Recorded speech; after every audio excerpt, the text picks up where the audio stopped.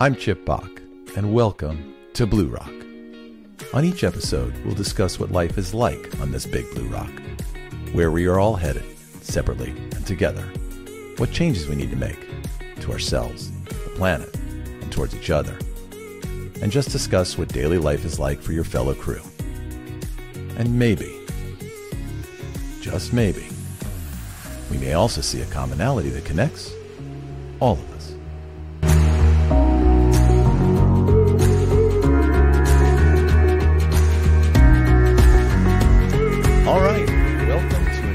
Episode of BluRock. Today I've got a very special guest, uh, a woman I've known for quite a long time. Her name is Pat Kirkland. She is the CEO and Master Executive Presence Coach, creator and founder of Pat Kirkland Leadership. She's the creator of the Predator Prey Partner Model of leadership styles and coaching methodology. We're going to talk about that a little bit today. She specializes in executive coaching with clients that include PayPal, Meta, who used to be Facebook and other companies, Microsoft, and a host of other leading innovation driven uh, firms. Her life's goal, this I found interesting, her life's goal is to champion the evolution of human communication to move, move humanity one step closer. For those of you who follow BluRock, if that couldn't be a more perfect fit for this podcast, I don't know what else is. So, uh, Pat, welcome to BluRock. Thank, Thank you Chip. for joining us today. We really appreciate it. And actually, Pat, I got a little something special for you. If you hold on a second before you Okay. get going, I want to give you a little, little intro. Can you hear that? I've got a big hidden studio back here, Pat. You don't even know. There's all these people off camera. They're all excited. They showed up. They're just friends and family. Don't, don't Feels good, Chip. I feel welcome. Thank Feels you. good. All right, we'll let them settle down there. Again, thanks for coming, Pat. We really, really appreciate it. Um, so, Pat, one of the things before you get before we get started into this, you started your career with CBS News in New York. I just, Yes. I just noticed Well, that. I did not know that. It's Tell actually that. tied to this larger purpose of uh, you doing the work you're doing and us having this conversation. Um, so what I noticed growing up is that my the culture. So I grew up in the um, Northeast, right outside of New York City. That I was being presented with two ways of being as an adult. Either I could be aggressive and get things done, or I could be a doormat and people would like me. And what was happening was my ego was too big to be a doormat and my heart was too big to not be regarded. And, and I'm, I'm looking around and I'm not seeing any role models. And then I thought, you know, people are really enjoying situation comedies. What if I got into, you know, CBS, ABC, NBC, something like that before there was everything else, and I were to work on creating a situation comedy that specifically, Chip, taught people how to communicate. That I mean, that was what I was going for because you entertain them and people watch. But then, you know, the So that was all just based on on on your life experience at the time, meaning like your interaction with people, trying to get a job, uh, college, Exactly. relationships, what have you. You just kind of always felt like you were on the outside, not outside looking in. That would that would that wouldn't be the same, but kind of like not a perfect fit for one side of the personality or I the other. to, it was mean, like I was a fair way to say presented with extremes. Okay. And the extremes were painful for my personality, and I literally couldn't find another way. So then I get into CBS, and uh, I was in CBS News, and they didn't want to talk to me in production. And I thought, oh, I just hit a dead end. So the rest of my career has been doing this specifically to identify a way of engaging with people, whether it's business, personal, community, that um, has a an expression of mutual respect for self and for the other. So I've actually been on this since I was about 17, 18. Wow. Yeah. See, you guys, I, you're not the first person I've talked to that had this early life epiphany, and I'm so jealous of you guys because I too came from a town in Westchester County, just outside New York City. Uh, super hard driving um, academics, right? Everybody's fighting over where they have a 4.1 or a 4.0 or what have you. Um, the the parents petitioned and got rid of class rank because God forbid you know, Susie be ranked 87th with a 4.0 and a 1600, you know, SAT, and then all of a sudden Dartmouth say no because of their rank. So just crazy, hyper competitive. Yes. And like you, you know, I'm kind of this bigger personality, but I've got a big heart. And and though I was, I never wanted for anything. I came from a you know successful family. There was all that programming, or as I've been told, is a protocol that we all kind of go through. Where okay, you got to get into the right college, then you got to get that job, then you got to get that 401k, and you got to you know bang along. Which again is what I've done. Um, but it it's weird how I had more of an awakening probably around 2013. Um, and but for you, you saw it so young, and I'm so I've given that to our daughter, which is awesome. But man, does it make me jealous because I'm like, God, I missed all of that. I could have done so many other things and all this time uh, had I just kind of went, hey, wait a minute, there's another way. I don't necessarily have to just tote the line, so to speak. Well, So- for me, Chip, I didn't see another way. And that's what I set out to find for myself because I was suicidal. I mean, it was not, I was wow, not a good, yeah. okay, Um, my life was was, that- it breaking was- down. At the age of 20, got it.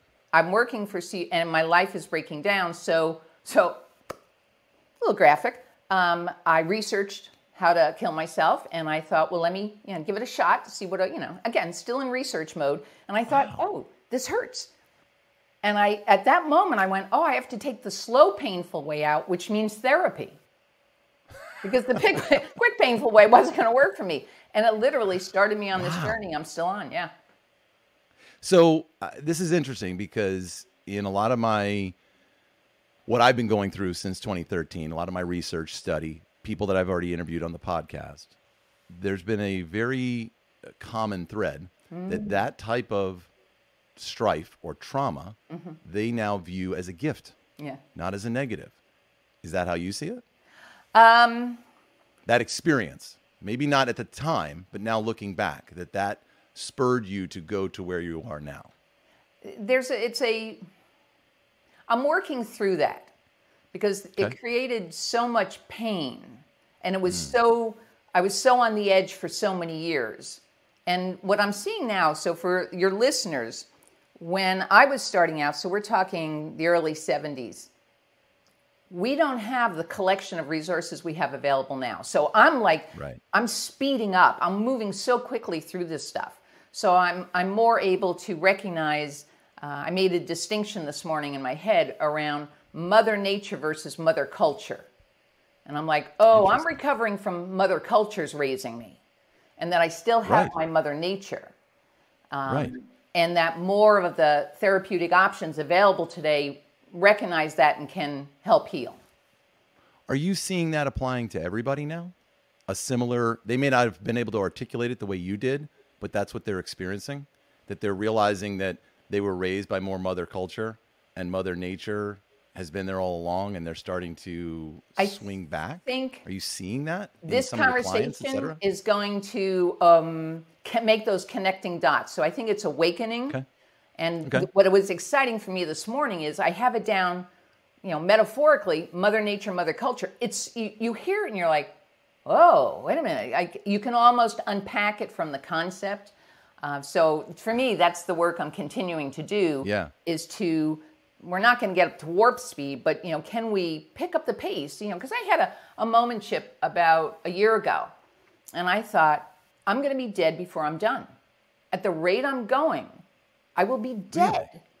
And then somebody suggested sacred medicine. And I'm like, okay, this is interesting. My late 60s, I'm going to go, sure, I'll try some Are drugs. we, are we talking? Are we talking like ayahuasca, like that type of? Uh, thing? yes, it was um, ecstasy. And then, oh, it was a cocktail. Okay, yeah, there, yes. And I was with therapists. it wasn't one thing. It was Well, it A was menu. it was three things in a day, and then I did it a, a month later, and Okay. it created my my experience of it was it created more space inside me.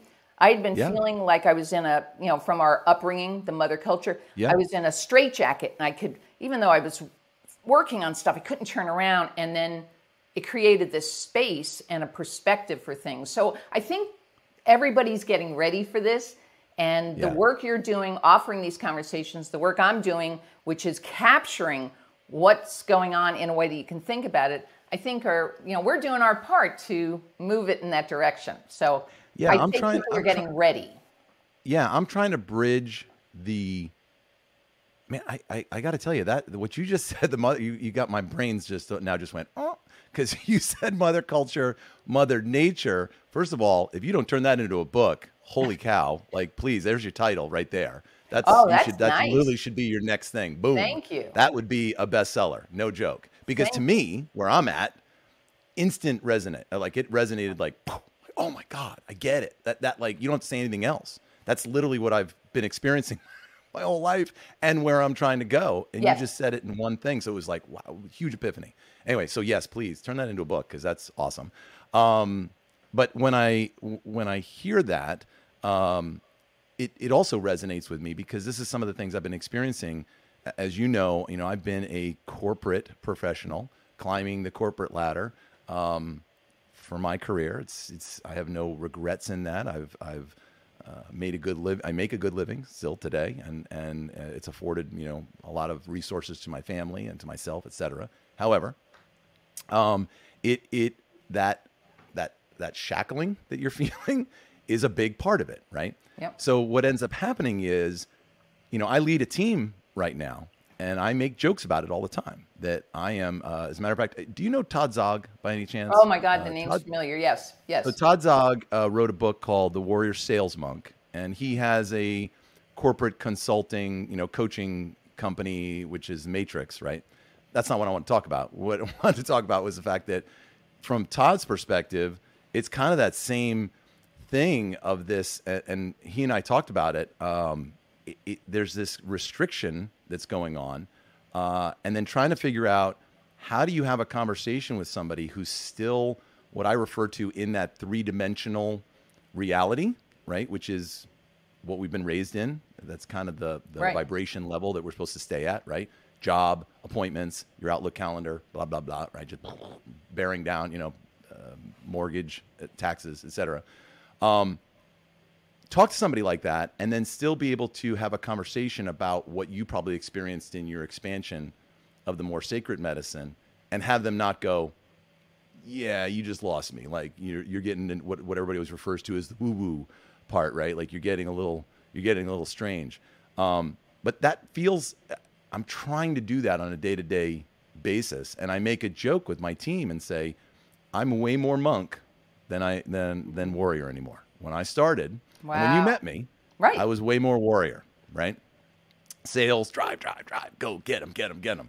And now I'm very even. As a matter of fact, they just did my DISC assessment a year and a half ago, and they just sent it to me today. You know the, Uh-huh. the old DISC system. Um, I'm dead even across all the colors, except for I is really high. Still really Whereas high. when I met you, yeah, but when I met you, it was the that red. What is that? The red. The D? that? Uh, the D. Oh my God. Ooh, they needed like three more pages, right? it's that hardcore driver. Now all those all those other two are dead. They're down like middle and just flat. And I remember speaking to the instructor about it and went, "Is that possible?" And she was like, "Yeah, absolutely. You you've changed how you see the world, and that relates So- to what we're talking about today." So you're flagging for me a book reference for your, the listeners. It's called Unwinding Anxiety. And he makes a very important point. I mean, I think the book is really powerful. I mean, I read it, reread it, made notes on it, and it's changing my insides. He makes a distinction around a fixed mindset and a growth mindset. And a fixed mindset is this, you know, you're talking about how do we talk to people? This is who you are, this is your lot in life, make the best of it. And a growth mindset is that everything is mutable, that I can continue to develop myself. Growing up, I was introduced to a fixed mindset. I had crippling self worth. It was horrible. Um, but then, in and of myself, my nature within me, I'm the oldest of seven, it was around looking out for people, becoming more than you can be. So I think that's the idea is to introduce to people in a way that there are two mindsets. And for the work I do coaching, I mean, that says this is the mindset I believe in. So Right. I think that's a, um, a way to begin to So that- introduce ideas. That sounds a lot like. Have you read The Big Leap by Gay Hendricks? No. That sounds like his book. So the the Big Leap talks about that we have zones. So you have your like your zone of competence, Uh-huh. right, which is where kind of like you could do it in your sleep kind of thing. and then you may have your zone of excellence, which is, you know, I kind of feel like that's where I'm at now, right? I'm very good at what I do. Uh, I've been doing it for a long time. I'm well respected. And again, almost to the point where I could, you know, barely do it in my sleep. It's challenging from one day to the next, but not like I'm not stretching, right? So to your point, this is where my my cap was, right? And then there's the zone of genius. And that zone of genius is where you go Wow. and that's where people get stuck. They get stuck at either that competence level because it's comfortable, it's safe, right? This is what I do. I'm a I'm a doctor. This is what I do every day. I see patients. I go home, and maybe I go fish on the play golf on the weekends, and then it starts all over again. And that's I've accomplished what I was led to believe was it. Yes. Meanwhile, there could be doesn't mean everybody has that. Somebody has to be a doctor, but there's a lot of people that could go way beyond it, and that's that zone of genius. And we talk about it here in our family all the time. My wife is from the same part of the country as you, you and I are both from, and she had the same problem. The, this this limited Yes. um, belief about herself, about where even though she's very strong and powerful willed and believes that there's more, there was this unconscious, and we all had it. I had it too, right? I, I, I any I think anytime you feel guilt, it that that's a part of that kicking in, right? Guilt is, I think, a big limiter for people. Yeah. And then e- and then obviously ego is too, even though most people will tell you. I strongly disagree, just so you know, with with um, Einstein, uh, not Einstein, um, Freud, on his Mm. definition of, of ego. Um, I think it's hurting us. I, I, it's, it definitely is great for giving you confidence, but when So- you start to lead with ego, I think it's a problem. Let me present an idea. Now, this is fresh out of the book, so this is like four days That's ago, great. five to go, days ago. And it's a book about individuation uh, by Mm-hmm. Murray Stein. And so, metaphorically, and I think that's the way to, to share what we're learning with other people is through metaphor. So, metaphorically, Mm-hmm. I'm a caterpillar. I've been crawling the face of the earth, knowing I want to be a butterfly, but stuck in this caterpillar life. And so I've been doing um, multiple forms of therapy. And again, the therapy options now um, are I'm working with one called NARM, N A R M, and it's, it, it knows how to transform trauma. Well, he explained this whole process of caterpillar to butterfly in a way that my brain went, oh. And he was talking about the first half of our lives. That's the mother culture part where we're, you know, we have our identifications, you know, you're the breadwinner, you're the responsible one, you've got to achieve all those things. And I see it as a ball with a bunch of divots knocked into it. And as you mm-hmm. come out of it, you got to knock those divots out in a way to, to a greater level of fullness. But then the second half is we start working with our unconscious self, with our, our mother nature in a way. And what the alchemy that happens, Chip, is that the conscious part of us, as we can release our identifications, working with the unconscious part as they become integrated, we become a third thing butterfly. I'm like, oh my God. So it's, it's really a life's work to free ourselves from what we're talking about, the restrictions. Correct. And it's Correct. you can't. It's tough to do if you have a fixed mindset because in a fixed mindset, I'm a caterpillar. I was raised by caterpillars. That's my lot in life. Um, Right. But the freedom that's coming from the transformation to butterfly is extraordinary.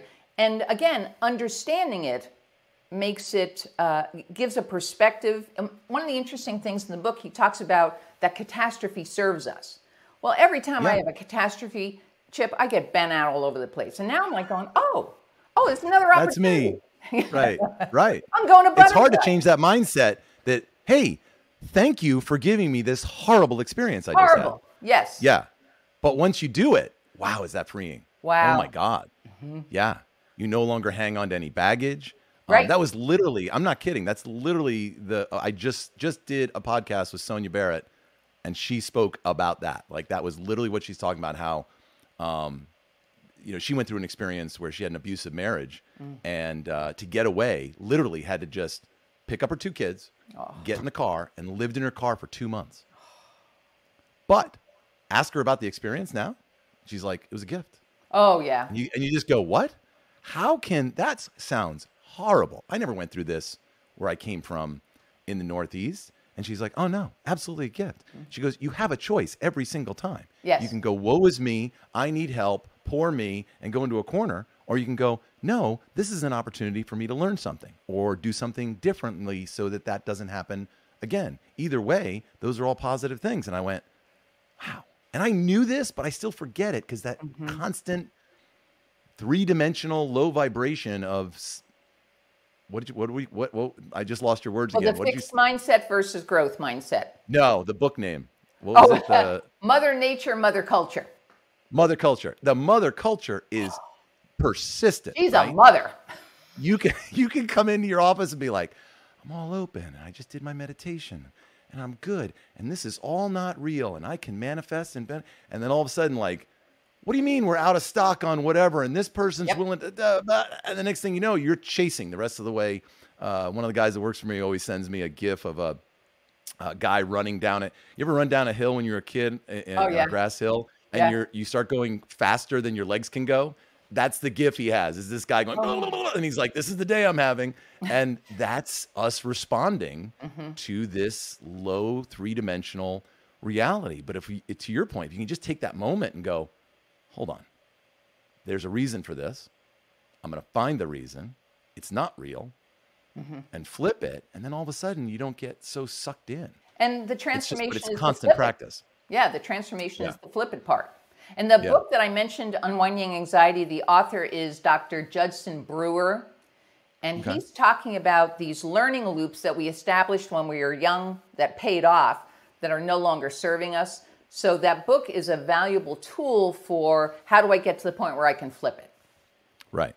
So along that same line, so you're when you're talking about things that the loops that we got into when we were kids, one of the things that I discovered uh, in the last couple of years, which I've now given, I've given this book away to everyone I work with.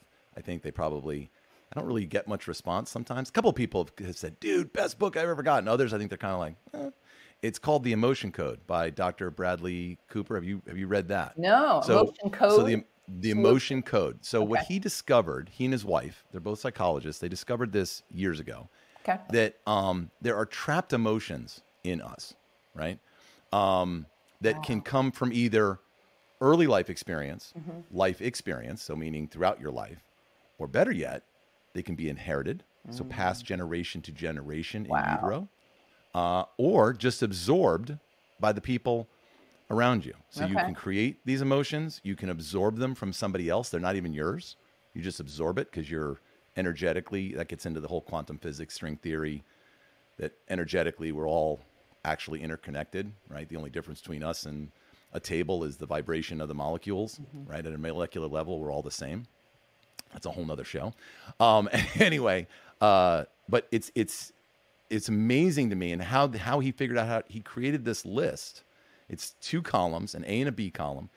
Uh, in each line, I think there's like four emotions. So each column has like six lines in each one of. So think of it like a grid. In each one of those boxes. So in column A and column B, there's six boxes. In each box, there's maybe five to six emotions, just the Okay. words.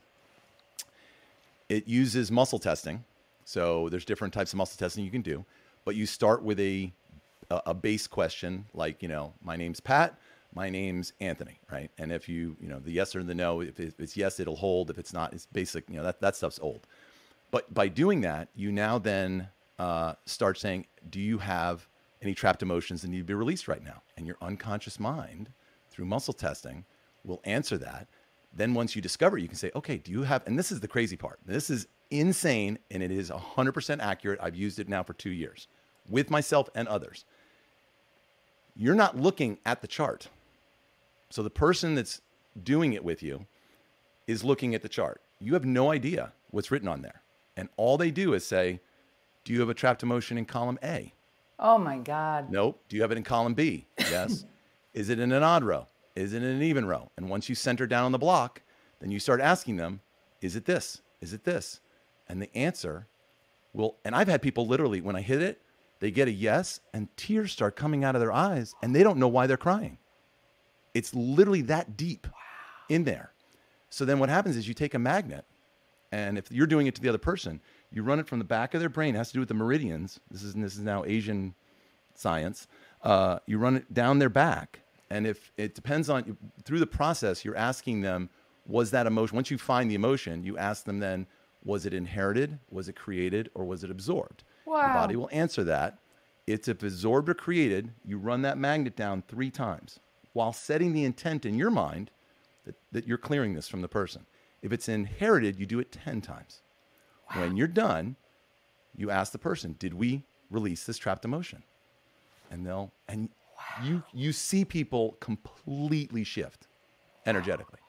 And you can remove trapped emotions that could have been with them not only in this lifetime, but passed on from previous lifetime or previous generations in utero. They've proven now that the emotions can be transferred from mother to child in utero, which is why somebody will look back and go, Well, nobody told me that my body was horrible or ugly or gross. Right. But for some reason, I've thought this since I was three. Right. And they have no idea why. And it was because the mother had the same trapped emotion and it got passed uh, generationally. From Oh, one to that's a next. powerful It is recommendation. So powerful. And the author really, again, Really good. Chip? It's not, you know, hold on. I have this book here. Thank you. You see, you can see we trap a lot of emotions, Pat. I have it right behind me. Um, it's the emotion code, Okay. Dr. Bradley Nelson. Thank you. Yeah. It's extremely good. Oh like my said. God. Well, I've but done- again, I've- taps into all this stuff you're talking about, right? It's Right. Well, that to me is this, you know, the first half conscious, the second half unconscious. That's a tool for working with the unconscious and communicating and learning. Correct. Wow. Correct. It's tremendous. And what happens is once you release it, it, it it's so freeing. I had a tremendous amount of guilt for Hmm. no reason, by the way. No growing up, there was no reason for me to be guilty. My wife, when I we've been married 20 years, she would say to me all the time, "Why do you fall into guilt all the time? What is the matter with you? like why there's why are you feeling guilty about that? That's not your fault or whatever." And I just had it. Once I released it about 3 years ago, gone. Now, was that a passed it- down emotion? Or was it? Okay, yeah. That was inherited. Yeah, no, it I'm going to inherited. guess. yeah, came from who knows where. Who knows? Could have come from my parents. Could have come from my grandparents, great great parents, mother's side. Uh, by the way, that's another part of that code. That the when you're going through it is that you're also asking, is there anything else you need to know? Because sometimes just recognizing that you had the emotion is all the unconscious Mm-hmm. the body wanted, right? But other times it's like, yeah, there's there's more. So you continue to. Did you? Was this because of your mother? Was this because of your father? you know, is there anything else I need to know? And you just keep going and you go until it says, no, there's nothing else you need to know. Then you remove it with a magnet, retest, it's gone and gone. I've done it Oh, with my daughter terrific. when, you know, high school's hard. Yeah.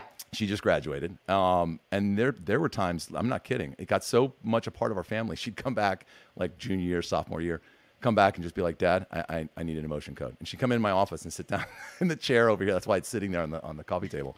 And she'd come in and sit in my office and go, can you do an emotion code on me? And sure enough, within seconds, we'd find something. What's amazing though is I've used it so much that the majority of us in the family now don't need it Right. because the whole reason it's trapped is because we were never taught to process the emotion oh, as it's oh. occurring. Yes. Yes. Once you recognize the feelings and you get rid of them, you can then start to no longer trap them.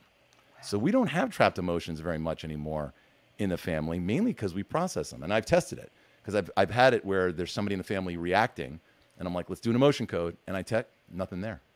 And they'll Oh, go, man. no, it's, it's all out here. There's nothing trapped. I'm everything I'm giving you right now is because I'm just letting it all out and letting it pass through me. right. And therein lies the problem. Instead of fix. Yeah, so you can flow. Yeah, yeah. Wow. yeah, Thank absolutely. you so much. That's an amazing one. That one's probably one of the biggest life altering ones. Uh, things that I've little Easter eggs I've found probably in the last five five years or so. Um, back to your stuff, and this plays very heavily into this, and and and I do appreciate you giving your time today because of, of all this communication that I'm trying to to give our our big blue rock that we all live on. Um, you do have something you developed through your program called Predator Prey Partner Model. Right. Um, I do feel like, yes, that's awesome in business, but it applies outside of that. Can you talk a little bit about that? Yeah, so this goes back to what I was sharing about when I was 17 to 20 around you need to become aggressive to produce results or be a doormat so people will like you. And again, I'm going into business as a 20 year old trying to, you know, and I, what do I jump back and forth? So I, I kind of really said I refuse to go on until I find a better way. Well, it took me years to find a better way. and needed to make a living. Um, and there were a couple of profound things. So when you become the kind of learner I became, you will you are open to learning anywhere, anytime from anything or one.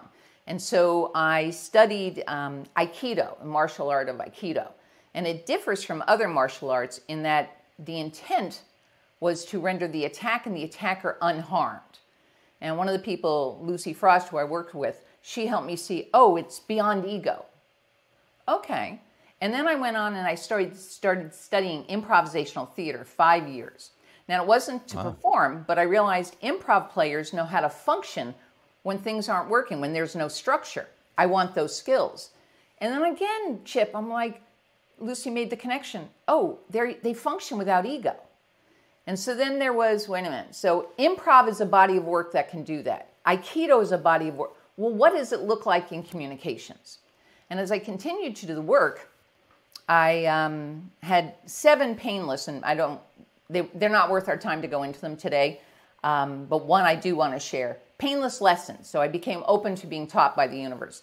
And I had a PhD uh, contact that I knew. He had a PhD from Stanford or something. And I kept trying to improve my materials, like, you know, because I'm not a salesperson the way you are, but I still have to sell for a living, right?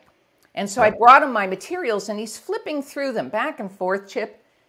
And then he turns to me and he said, Well, maybe your product isn't your product. Maybe your product is your relationship with people. And my brain just went, oh God. You know, I had to write it down because I, I thought I've never had that thought before. I and now I have to go understand it. And so that began the shift to what does it look like if if this is about my relationship with people. And then I had a vision of, and this is not a real person, but in my mind's eye, I had a vision of a kid in high school who's kind of mm, he, he doesn't exercise a lot, so he's kind of doughy. He's got mm-hmm. a full head of, of uh, brown curly hair. He's in the hallway. He's going through his phone, and as everybody's passing him, he goes, "Hey, how you doing? Hey, good to see you." And I realize he's not the quarterback. He's not the head cheerleader, but everybody likes this guy. Why? Right. right. And then I started to see, and then as I started to do, and I went, wait a minute, the aggressive part, that's more being a predator. That doormat is more like being a prey. And I thought, what is this third entity like? And the word partner came to me. And as right. soon as I had partner, I'm like, oh, there's the triangle. And for a long time, I thought partner had to be a split halfway between the two. But the difference is that predator and prey are about fight or flight, that there's some tension there. And that Correct. partner is about mutual respect for self and others. So for me, mm-hmm. this is uplifting how we engage with everybody, whether it's our family members, our friends, our community, our business. So, right. what I drilled down to was how do we do this non-verbally? Because he was just, you know, what he was saying wasn't critical, but it was the way he was engaging. Right. And so then I, um, I had another, as I was kind of crunching this, trying to understand it so I could teach it. I imagine, well, you're, you're in a pressure situation. What do people respond to in a pressure situation? And I thought, well, doctors in emergency rooms are in a pressure situation. So if a parent's coming in with a kid who has an earache, and if you have had a child with an earache, you know pain, right? And the, the parent comes in, and I realize what they care about first is competence. Do you know what you're doing? And then as the, the parent and the child are in the, in the room and the physician is attending to them, then you care about respect. Do you, do you care about myself and my child? First, I want you to save their lives, get them out of pain, but then, you know, it's a broader relationship. So for me, the conversation for leadership, whether it's in our community, uh, in business, do you know what you're doing and am I in good hands with you? And so we can answer that non-verbally in how we use our voice, how we use our body. So that was the opening for me to realize, and, and there's, I, I knew it was powerful for a long time, Chip, but I couldn't understand why. And what I believe is that the limbic brain that reads nonverbal behaviors processes what it sees faster than the neocortex processes what it hears. And you're referring, you, I know you call that the, the lizard brain. right? Well, I'm, I think it's lizard limbic. I'm I'm not a scientist, nor do I pretend to be one, but I can make it sound like I know what I, I'm talking I've heard. Well, I've heard it. I've heard it also referred to as the reptilian brain. Yeah, I I I thought I've heard is- spoke that way for a long time, but now there's something about the limbic brain Mm-hmm. that it it reads. It's the same part. Oh, okay, okay. Is it I was not? in my I think it's the same. I think we're. Ta- I think we're it's talking same. about the same Okay. part of the brain, but Right. there's like a you know the, the it's the fight or flight, right. right? Is that what you're referring to? So Yeah. that's the reptilian lizard, you know, brain that everybody refers to. And to your point, it it it it's responding to vocal patterns and you know all that kind of stuff. It's not actually listening. No, right? and, and it, it's can't. responding to all visual. but it's yeah. kind of nudging us to go, "Mm, don't trust them, or it it's all good here. So, Right. so my work is about drilling that down and then finding the universal expression of leadership, where we could go anywhere at any time. And there's a book, actually, recommendation I want to make for your viewers. So this is called Naturally Selected, um, and it's the looking at evolutionary leadership theory. And what was fascinating for me, so I'm, you know, I start reading the book and I want to learn about leadership, and they're talking about the followers, and I'm thinking, I don't want to know about the followers, I want to know about the leaders. and they're I'm not talking to followers. I'm only talking to leaders. What's right, going on? Right? I mean, you know, I'm arguing with the with the authors, um, and their point was back hundreds of thousands of years ago when we were in small tribes, we could Right. have a warring tribe, we could have weather conditions, we could have wild animals. What they identified was that a leader would stand, multiple leaders would stand up. Right. The followers had to decide who to follow. And their point, Chip, was that it is in our DNA to recognize leadership. Again, Correct. you know what you're doing. Am I in good hands with you? And so for me, that recognizing are all these nonverbals that we're talking about. So, you know, I, I joke often about um, parents. so here I am working with adults in the industry, and they come up to me going, I really need help with my kids. Oh, my kids are making me nuts. I'm like, yeah, I know. So there's a particular behavior we call the warm downward inflection. And it's speaking with a sense of certainty, not a hammer, but a sense of certainty. Mm-hmm. So I give people, parents, an example. I say, so you take your kids over to the pool, you've got your friends and neighbors around, but you know, somebody's got a dentist appointment, you got to get the kids out of the pool. So you want to, again, mother culture, you want to be seen as a loving parent. So you say, okay, kids, upward inflection, time to get out of the pool, upward inflection, which makes it sound negotiable. The kids do nothing because they know they have time, right? You try one more time, okay, kids, a little higher, time to get out, right? Because you don't want to turn into a hairy monster in front of people you know. And then you know you're going to be late and you're, all right, out of the pool, right? And then you're embarrassed because you've lost your cool. And they think that's the choice. That's that fixed mindset. And so what I share with them then is the warm down reflection. Okay, kids, time to get out of the pool.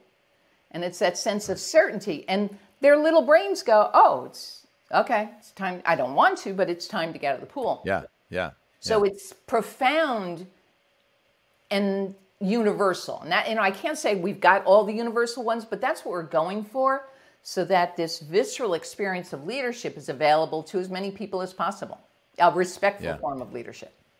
It's it's interesting because in in my experience in the corporate world, um, especially being on the sales side of things in various capacities, uh, I always found it interesting that you would have certain sales leadership that really liked the reptilian or what you would call the predator Mm. approach from a leader, right? Um, get them out there, get them selling, get the numbers up, hit Right. the number, blow out the number, exceed the number at all costs, get it done, right? Um, however, you had a high turnover rate of people because they can't withstand a predator for long periods of time. They'll do Right. it, Right. right, for a short period of time. And then at some point, when they've made enough money, they're going to go, I hate my job. And they're going to look for something else. And which is why then all those statistics that I'm sure you've looked at before right. that come out and show why does somebody leave a job? Yes. Everybody always think, oh, it's money. It's not. Money's The like box. fourth. Yeah, it's like way down. It's no, I, I, they're not happy. Right. And then you need to figure out, well, why are we not happy? Why are they not happy? And it's because there was nobody ever really paying attention to that. Why can't, you know, the the the the, the programming from a kid is your happiness is based on, do you have a nice car? Do you have a nice mm-hmm. house? Do you Wow. have a 401k? Do you have dental and medical? And if and if you have all those things and you're unhappy, what's the matter with you? Right. Right? That's the way right. we're programmed. Right. Um, so then you start to feel guilty if you're not happy and you have all those things. And then the therapy kicks in because you're just like, I don't understand. Everybody says I'm supposed to be happy, but I'm miserable. And it's very confusing. And I think Yes. that starts from the time you're a kid. And it just gets worse. And the problem is, to your point, it's not just happening at home or at work. The TV's telling us this, the high school to me. Uh, somebody, uh, there was, um, I watch. Anybody that listens to BluRock knows I watch uh, Gaia TV like it's Netflix. Okay, I don't know whether you've ever seen Gaia TV.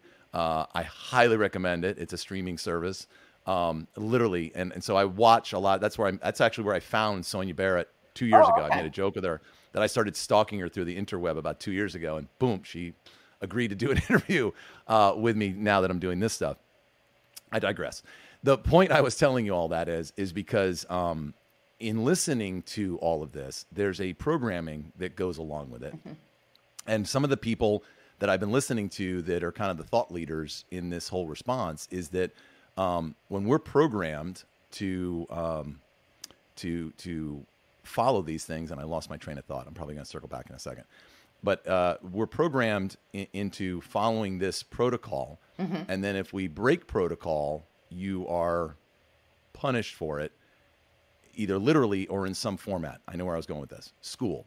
So in modern Western school in the United States, which again we all know that the current modern education system came from over in Europe and was designed to keep everybody as good cogs, right? It wasn't about what you wanted to do, what your zone of genius was, or what spoke to you. It was here are the parameters we need, and we're going to test you on them. And if you don't, if the program didn't sink in enough, which means you got an A, we're going to make you retake the test. And if you didn't get the program for that school year, we're going to make you retest, take the whole year again. It's not about succeeding. It's about making sure the program is locked in. Did it, did it get set? Uh, was the software installed properly? That's actually what it's all about. And once you start seeing it that way, you go, that doesn't feel good. That's not what I felt. And so for me, I played college football, played a national championship. I came from a family, everything was about competition, win, win, win. Uh, you know, my dad used to make signs to put on our bus in high school going to the away games, beat them, crush them, kill 'em. I look at those now and go, why are we, why are we installing, in, instilling that into our kids? That we need, that there's some kind of success around beating in some way, shape, or form another human being. For what purpose? It doesn't exist in nature. That whole thing about survival of the fittest, it, it doesn't that doesn't exist. That's all that's already been proven. All right. Nature nature exists in harmony, not in in in um, Competition. competition. Doesn't work. The No. lion doesn't doesn't wander the Serengeti and go, I need to make sure that there's no Kill other all of you." lions. Right. Yeah, I'm going to get rid of every single lion and I'm going to have all the lionesses are mine and there's this is all mine. It doesn't work that way. That's No. why you can see them drinking at the water hole next to the gazelles. Cuz they understand there's a harmony, right? And ancient cultures knew that and we lost it. That's what people uh, people always talk to me about evolution. I'm like, "No, we've de-evolved." We, we have a more civilized society that has forgotten So- the things that made us work better as a human race. So let me throw out. So as I developed this model, and I was working with partner because I was doing it real time, what I came to realize is that oh, partner is who we are when we're in a good mood. Right. That's what we're signaling. It's the you know the lion and the gazelle. Like nobody's going to die today, but it's a lot of personal work when you're dealing with the pressure. Um, if you've got some kind of personal crisis, if you've got you know business pressures coming in, to be able to maintain that level of presence, which we refer to as relaxed confidence, because there's no tension in it, but there's still that sense of I know what I'm doing and you're in good hands with me. So Right. it's an evolution, Chip. It is. It's and evolution is about raising consciousness through awareness. So it's it's it's slow going, but I'd say we're making progress. So now you're obviously, I, I already went over some of the companies you've mm-hmm. worked with, right? So PayPal, Meta, et cetera. What are you seeing in Microsoft? What are you seeing going in there? Is there a shift happening? So, you know, obviously you and I are talking today about the whole planet. You're have a tremendous amount of expertise in in a more of a microcosm, right? So when you're working with a group of people at Meta and their leadership, and they've hired you and brought you in to, to do this, but then you get to see what's actually happening and then try and improve upon it. What are you seeing in there? Is this resonating with them? Is there a lot of resistance? Are people, uh, was there, I hate to use the word, but was there more dysfunction before you got there that you have to work on because of the cultural environment of some of these big tech companies? So I would hit a, I would come upon resistance, and then it would take me actually a couple of years to figure out what's going on because culture's always moving, but it moves like a glacier, so it's slow. Right. And what I came to realize, Chip, was often the people liked the way we were co- not they didn't well they the coaching they found valuable, but they could see where we were going with it. That it's this blend of confidence with approachability. And then they would say to me, but our leaders don't do this. But our leaders aren't doing this. And I Yeah. didn't know what to, and then I finally realized, oh, you're the new leadership. Because they did, like you were saying earlier, they were coming from predator, they were coming from command and control. Right. That was kind of the best they had. But we're evolving that so that you're able to have confidence and competence, but it's a relational dynamic that you're um, So is so to that end is the leadership you've been of these organizations, and again, it doesn't have to be anybody specific, but just as a generalized statement, are they open to that same coaching and evolution? Because you're you're working with probably middle management, like just below that upper tier, and they're telling you this is amazing, Pat, but they don't do this, and they're whoever Right. they are, right? Right. So how open were how, how open were they to this type of of transformation? There, it's a mix. um, I mean, what's so affirming is that younger generations bring with them more openness, more willingness. We call them the road team ready, open, and willing. Right. So over time, we were working with emerging leaders and established leaders, and now we're working with the established leaders at higher levels. So there's, um, I, ha- I have this personal little thought uh, because you know, I've read a lot about family trauma and how it's communicated multi generationally. And honest to God, it like hit me, Chip. I went, oh, the same is true in leadership. There's there's Yeah. corporate trauma that gets passed down, and that's why I think some companies have different cultures. And so Yeah. I am now realizing that some companies uh, are not ready for this. That that's they don't want to let go of the command and control form, and other So, so what you're saying is they need a giant emotion code, is what you're saying. oh, I think so. Oh, So the military industrial complex, I happen to live now at this part of my life. Uh, I live in an area that is one of the main hubs of the military industrial complex. Most of my neighbors work for SpaceX, uh, Northrop Grumman, uh, et cetera. And uh, there's a lot of super secret squirrel programs going on here uh, that when we have a, a party of friends, I usually am quick to bring out the tequila and try and get people to uh, tell me what the heck is actually going on because there's a lot of weird behavior. Uh, there, or during this last administration, you know, they switched over some of the Air Force bases to Space Force bases. I oh live right. about I live very close to one of them, um, which also means on a daily basis I'm exposed to the new things that are going on at those Space Force bases. I'm seeing blacked out helicopters, guys in black outfits. There's no markings on them, coming in low over the water. All kinds of Wow, weird Chip. stuff happening um, that I that I, I ask a lot of questions. That just tends to be my nature. Um, and I had a guy that uh, that works for SpaceX, and uh, we had him here, and I had he was about four or five tequilas in, and I said, uh, "Okay, so it, I know you're working on all the super secret squirrel stuff," and he always laughs when I use that terminology, but that's what they call it. And uh, I said, "Come on, man, what's what's what's actually going on?" He said, "Look, I, you know I can't share with you what we're actually working on, but I'll I'll tell you this: look in your and I've said this on other podcasts. Look in your garage. What's driving the engine of that car? It's a combustion engine. How long is that technology running on fossil fuel?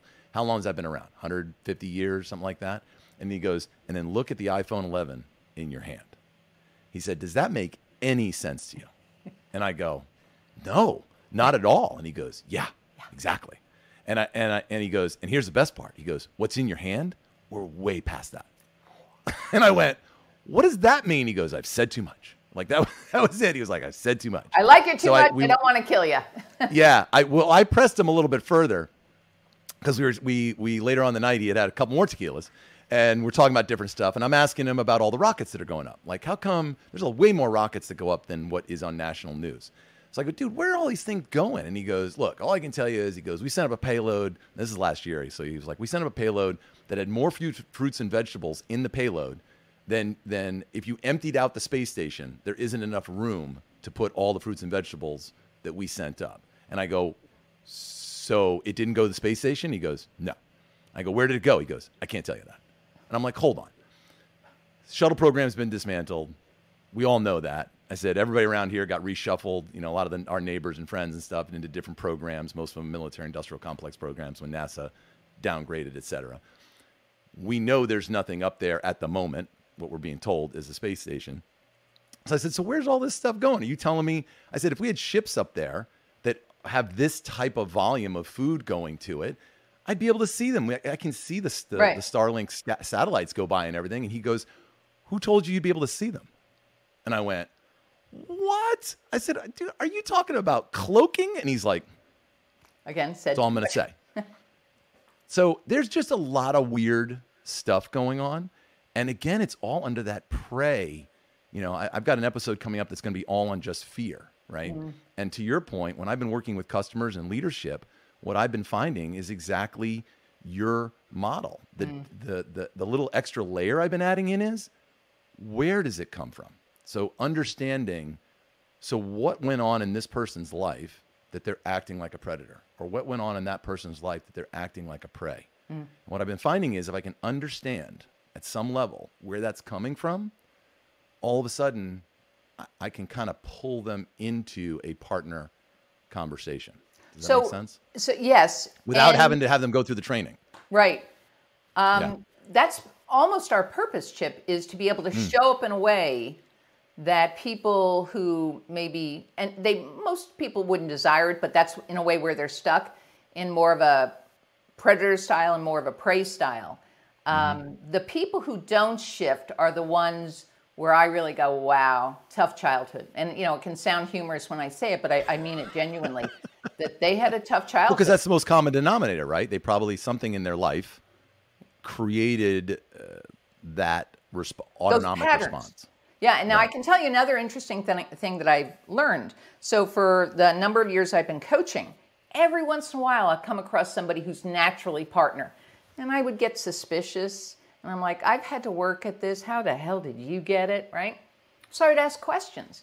The one thing they all had in common is they moved around a lot when they were kids going to different schools. And I thought, how would that? Why would that? And I my thinking is they went into the new school more prey-like. See, I'm a nice person, please like me. And they got beat up. They go to the next school a year or two later and they're like, this time I'm coming in, right? And then they beat up and it still didn't work. And long about the third school, they're like, I'm just going to learn how to make friends fast. That's and they just have this advanced ability again through challenges. They've developed those skills. Is it also possible that they weren't in one place long enough to have whatever the program was at that time set in enough? Um, is that possible? I I, guess that's a number of them were military, so my sense is the mm-hmm. military complex traveled with them. So that's mother culture doing Yep. her thing. Um, it's a fixed program. Yeah. Yes. Yeah. Yeah, got it. So it's more that they come in with this, you know, a certain level of confidence that may still be a put on, but they've learned that as a prey, you get challenged and you're taken down. But there's a level of relaxation about how they're showing up. And and I had this one father, I told this story in one of the programs, and he came up to me afterwards. He said, You're talking about guilt. He said, You have no idea how much you helped me with my guilt as a father, moving my kids around. They hate me. And now I'm helping them develop partner skills. He was so relieved to realize that this challenge for them is actually causing them to have to adapt and advance. So it's so it's I believe inherent in all of us, but you know, if we're not challenged, we kind of stick with the programming we've gotten, and this is about ev- evolving that. So now, Pat, we, we've talked about corporate, which is your expertise. You've been very focused on that. We've talked about how it applies to people in general. So now I'm going to go a little bit broader because I, I feel like this conversation has led us to this question. Which you're probably going to laugh at me when I ask you. So, why is the world, so this big blue rock, so mm-hmm. we're all human beings, why are we not all understanding the partner way of approaching life? Why are there still so many prey and predators when it clearly doesn't work?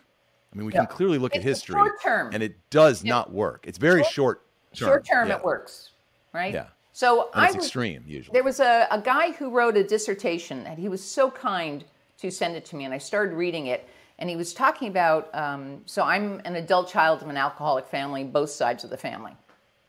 And there's a particular wounding that happens, um, and that you, you get stuck in child consciousness, which is more the predator, the prey. Let me just handle this, let me handle this.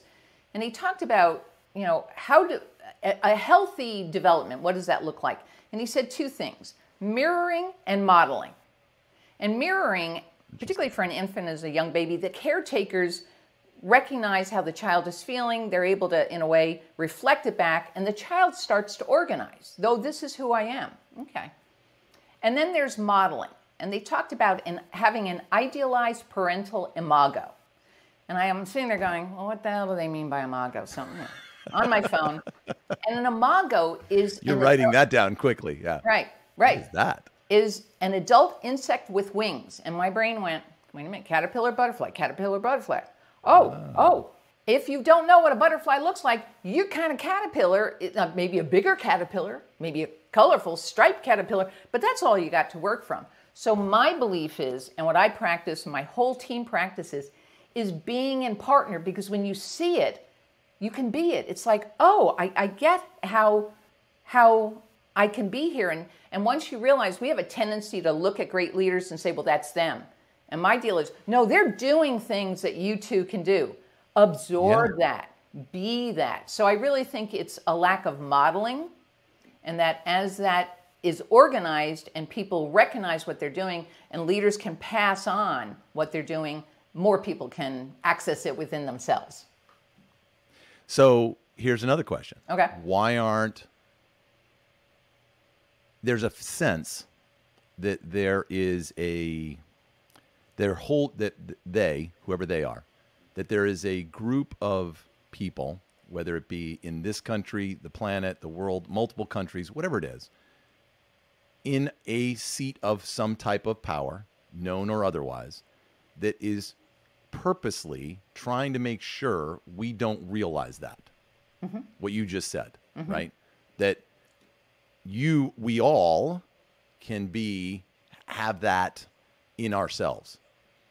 And and intentionally David Icke who i've i've read many, many of his books and if you haven't seen him he's big on Gaia TV David Icke says it's to keep us as little me. The right? the concept is to is to keep us as little me. There's an intention that you don't know anything. Just keep doing what we're telling you to do. Don't think too far outside the box because that's for us and wh- and then they utilize whatever that extra stuff is um, so it sounds like this is this is wide and deep for lack of a better way of putting that throughout culture businesses the economy the government and then you just keep expanding that because all the other countries are just different versions of everybody else to some extent. Uh, some some more positive, some more negative, some in between. But you know, everybody's kind of structured the same. And that's kind of the whole point of, of this podcast is I'm trying to get everybody to see we're all at some level there's there's a there's a a, um, a connection point or multiple connection points where we're actually all the same that supersedes or or, or crisscrosses genders, creeds, you know, races, um, uh, cultures, uh, countries, borders, etc., uh, and start to realize that all of that stuff may have a purpose, but that shouldn't be that shouldn't change how you are as a human being. As a human being, we shouldn't care that there are people in Mexico or Canada, right? It shouldn't matter. They're people, The border that was created, that's a government thing. That's all done for another purpose. That should have nothing to do with how we think about them, how we feel about them, or how we interact with them. And the same thing goes for them. So if you can get everybody doing that, then guess what happens? So- we start actually all working together at some point. Right. So the work to be done is um, two things are flagging in my mind. The book Obedience to Authority by Stanley Milgram, based on his experiments in the 60s. I just read that. And all the dynamic about the authority, recognizing that if we look as authority, people, normal, caring people, under the influence of authority, turn their power over to authority. So I was Right. listening to a documentary on shame on um, George Carlin, and I mean, I'm sure I listened to him when he said it, but I didn't get it, you know, X number of years Right. ago. He said, I don't trust authority at all. Now, again, I'm reading Obedience to Authority. I'm kind of like, George, I'm, I'm with you. He said, the only, the only authority I trust is inner authority. And my brain went, Right. so that's the work to be done. You know, everything we started out with, Chip, around, you know, when you identified the book title, Mother Nature, Mother Culture, all of that influence from Mother Culture, getting us, you know, into these claw, into the uh, being a cog in the wheel. The work that we need to do is to restore our inner authority, our inner knowing, and respectfully, relationally acting on that. You can become aggressive and do it, but you're still in predator then. So there's work to be done for every individual. You got to That sounds like a good leader, a person that would be Oh. like that, Pat. people choose to follow them. Yes. You see how we just pulled that all together? Yeah, in a you loop? did. That, that, that kind of sounds like a good partner leader. I think that might be what you're trying to achieve. It is. I'm, That and, sounds, and that the deal sounds a little familiar to me. I'm doing it here first because I can Yeah. talk about it, but if I can't do it, it doesn't, I don't offer really anything but words to people. So, Yeah, yeah, yeah. No, same thing goes for me. I mean, I'm doing the same thing on, on my end. I'm trying to uh, fix me first. Uh, Yes. One of the things that's been a huge tool for me is the ancient um, Hawaiian practice of Ho'oponopono. Um, I wish I'd known that when I was a kid. Uh, it has been a beautiful thing for my family. Uh, so simple. Um, those ancient cultures, those Polynesian cultures, utilized it on a regular basis. And God, it, it just eliminated war and strife and anger. Um, and it's just so simple because it just quickly releases just, I'm sorry, forgive me, thank you, I love you. Doesn't matter what you were arguing over, differences of opinion, has nothing to do with it. It just simply just goes. whew. So what happens is that's where I first go, right? I may Good. think I'm right in Right. that moment. I may think Yes. I know what I was doing. And then as I start to hear other people, I'm like, oh, well, that actually, yes, there's a point there. Know, that's a point there. And very quickly I go to, okay, you know what? I'm sorry. Forgive me. Thank you for pointing that out. And you know I what? love you. I love you. Let's let's let's bring this all that's back together. great. So, That's great. And so, Pat, I know you have You can talk, ahead. but you're being it. So I want to acknowledge that. So thank Yeah, you. yeah, yeah. So I have so much more to talk to you about. I would love to have you come back when you have time in your schedule because I'm this thing is just going to keep going. I'm I'm not I'm not stopping. And we're I'm learning. Um, I learned as we were talking. I'm ready to order a motion code. So yes. That's all. I'm, I I have to go back and listen to the books you recommended and stuff. So I'm be doing that while I'm editing. I'll be writing it down. I'm trying not to be rude and, and look Right. to one side. Um, but one of the things we do on each episode is, uh, as I wrap it up, is I'm going to give you three different words. Okay. Um, you can answer. It's not word association per se, uh, so you don't don't feel like you have to add answer with a word, right? Not like a synonym or or an antonym or anything like that. You can just tell me how you feels, a sentence, what have you, um, and that's how we do each episode. So when I say the word um, peace, what what comes to mind? Calm waters that I now recognize when the waves kick up, oh, I'm in a reactive state of predator prey. So peace is viscerally, I recognize it as calm waters. So that's what I use internally now. Beautiful. Okay, so what, what same thing when I say the word uh, love. This one I'm still working through, Chip. So literally, we're talking a week ago. I We can, we can do an emotion code later if you want, Pat. You can call back and we'll do. We, we I can do it remotely, so it's fine. It all works as long as you got a magnet on your end. We can make it work. Sorry, Thank go ahead. Um, what I realized was, oh, for me, sugar was love growing up. Interesting. And it can get re-triggered and now i'm realizing oh this that's a lack of consciousness Uh, it made sense as a kid i had access to sugar um, and i have um, somebody I know personally who we're, you know, whether it's joking or not, true or not, that she comes from the planet of, of um, unconditional love. And you just feel it around her. So I'm blessed to have, to know what that feels like. And that's still where growth is required on my part to shift from a dependence on a substance to having it available within myself. Nice. Very good. The last word is aloha. Oh, it's so interesting. What flashed in my mind was the best feeling I remember from a child was a warm breeze and the sun coming through the trees as they were dancing on the ground. And when mm-hmm. you say aloha, that's what that brings up. So it's Isn't that beautiful? It's like a, a feeling of, of the presence of a loving presence. People always think of aloha. Very, very often, people think of aloha as a Polynesian thing, right? Hawaii, grass skirts, that type of thing. In actuality, when you look up the definition, I did an episode on this, um, it is a transcendent, universal wow. word and emotion and a feeling um, that the Hawaiians have had in their culture for a very, very long time. Uh, and it's way more than just hello and goodbye.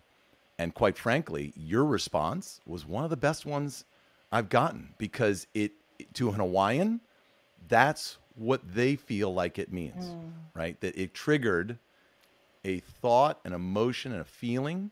Didn't have anything to do with their island, right? You could have been maybe in your mind thought palm trees, but I'm sure growing up in the Northeast that wasn't. No, that wasn't what I saw. Right? They were oak trees. But it's that feeling that you felt is what they're trying is what they mean by wow. aloha. So it's universal.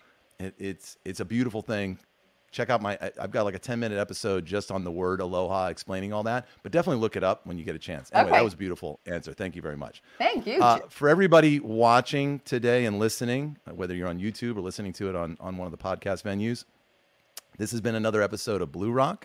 Uh, i've it's been a true joy to have pat kirkland of pat kirkland leadership. Pat what's your website again? Patkirklandleadership.com make it easy. Yeah I, I just said it and I should have just finished with .com. It would have been all good. Uh, anyway, Pat, thank you so much. Uh, as always, you've been had a huge impact on my life. Uh, I think I've talked about this before. I love you. Uh, you, I think I talk about you to other people. I'll mention experiences that I've had taking your courses and stuff. And it, it definitely was a synchronistic thing that's led me to what I'm doing now. So to bring it full circle, it's it's it's amazing. So thank you very thank much. Thank you for honoring me too, Chip. This was an absolute joy and pleasure. And you know, dear God, we can learn together. And I'm getting my copy of that book. like I said, I'm going to have you back on. Uh, again, for everybody at BluRock, as always, find peace, lead with love, and live. Aloha. Thanks, Pat. Appreciate Thank it. You. We'll talk soon. Stay safe. Bye.